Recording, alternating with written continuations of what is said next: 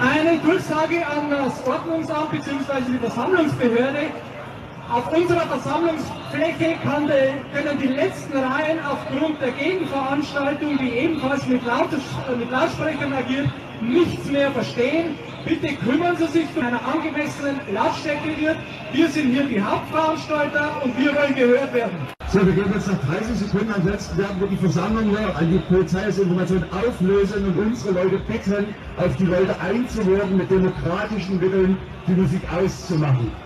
Also als Versammlungsleiter unserer Versammlung fordere ich nochmal die Einsatzleitung dieser Gegenversammlung, die gegen Pegida auf der Straße ist und die Hauptversammlung in diesem Moment stört. Bitte drehen Sie Ihre Pässe zurück.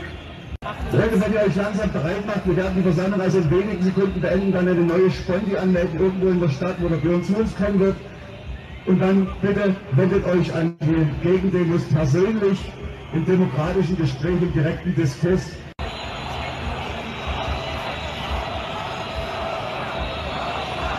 amendments